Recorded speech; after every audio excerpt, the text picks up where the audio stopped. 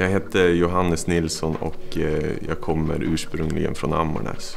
Det var som att jag vaknade upp en dag bara och, och tänkte att nej, nu är jag less på, att- på att vara här. Och samma sak varje dag. Man gick till jobbet och man for hem, man åt och man tränade och man sov. Och nu vill jag verkligen testa något nytt och, och hade hört talas om Samernas utbildningscentrum. Och då blev det Duji och, och Jokkmokk. Kul att få, få, få göra någonting med sina händer och inte bara få göra någonting praktiskt och, och kanske lite konstnärligt. Jag håller på med, med trä och horn för det mesta. Håller på lite med skinn också när man syr knivar och gör snoddar och, och, och annat. Till utställningen här på, på Jokkmokks marknad så har jag valt att göra en traditionell eh, halvhornskniv och eh, ett nålhus lite mer speciellt där det är inblandat både trä och eh, horn, vilket är kanske ganska ovanligt vad jag vet. En helt vanlig goxi och en, en liten ask med, med ett eh, hornlock och även en hornsvepsask. Och den sista, en traditionell helträkniv fast jag valde att göra helt utan syttläder på den och dubbla horninlägg på, på sidorna.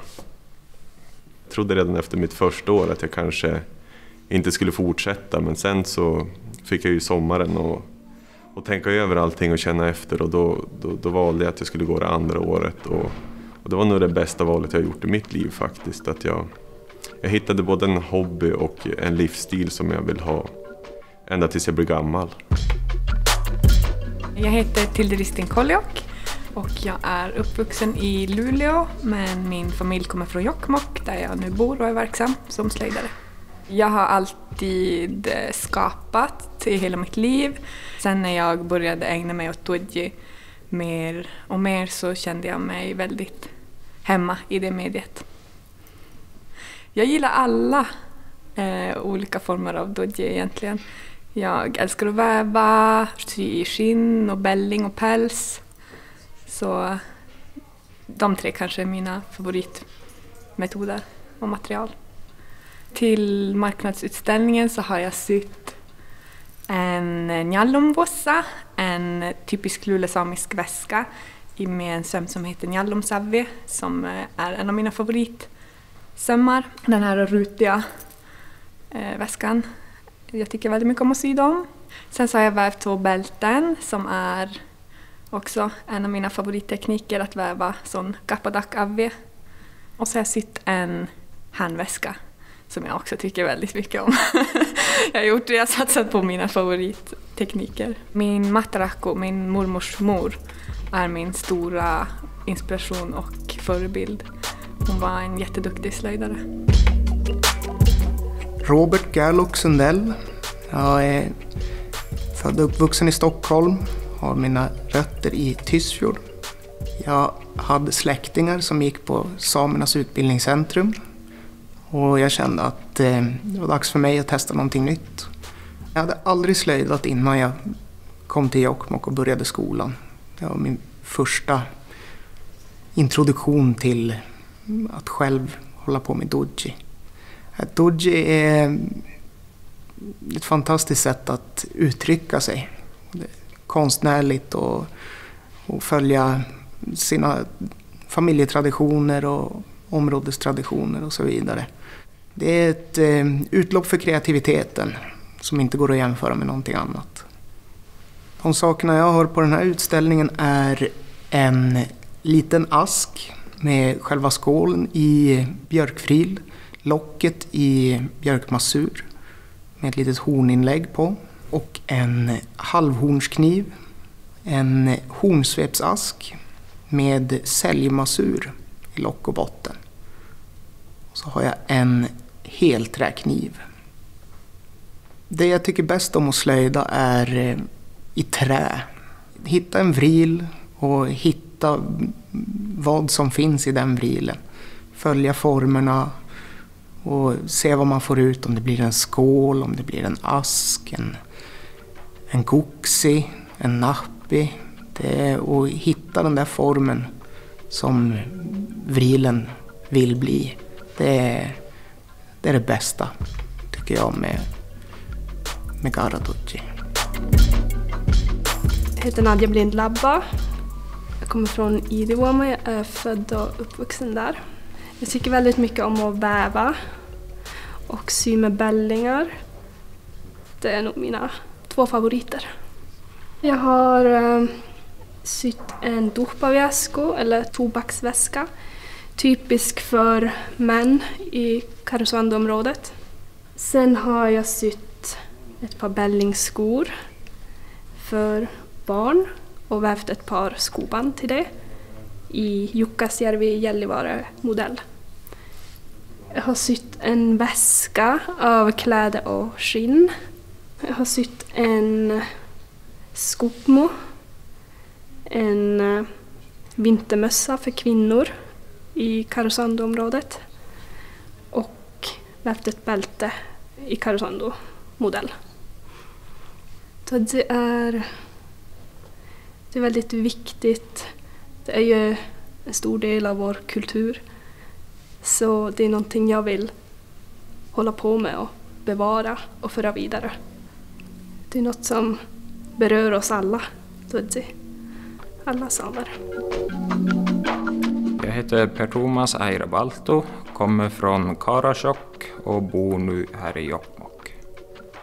Jag sökte till Samernas utbildningscentrum efter att jag hade pluggat klart och ja, var less att sitta i böcker och läsa och skriva. Så jag ville testa någonting nytt.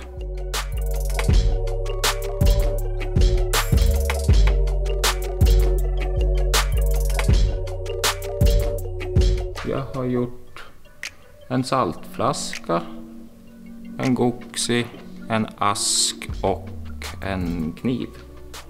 Jag får ju inspiration av andra slöjdare, kollar på deras saker och får inspiration där. Eh, samtidigt så får jag inspiration av glaskonst. Asken som jag har gjort, den har ju en droppform. Den är gjord av granvril. Första gången jag använder det materialet. Hårt material, fint att jobba med. Och designen, det ser ut som ett Star Wars-skepp.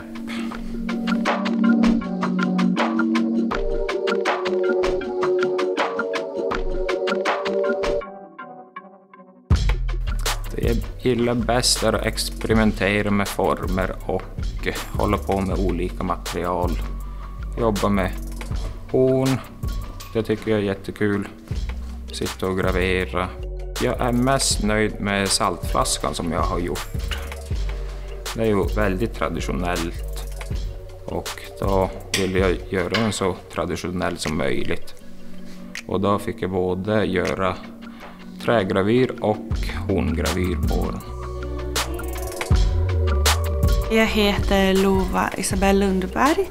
Jag är uppvuxen utanför Falun, kommer från eh, ja, släkter från Idre sameby och nu bor jag utan, ja, i Kiruna. Min moster syr också mycket koltar och så. Eh, och min familj höll på mycket med pärlor så det är väl det jag har fortsatt mycket med. Syr väldigt mycket pärlor.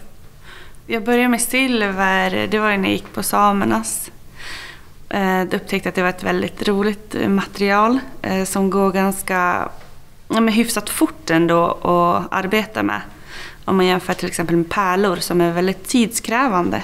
Och så har jag som fortsatt med det och gjort en eh, egen silververkstad hemma nu. Jag gillar eh, färg och form och att eh, grejen att man kan konstruera och göra saker till sig själv som man kan använda.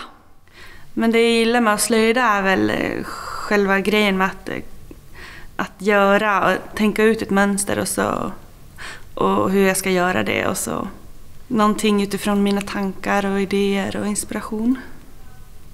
Den här högra har ju både pärlor och silver och den vänstra är ju silver som jag har typ graverat lite på och satt i ett flätmönster.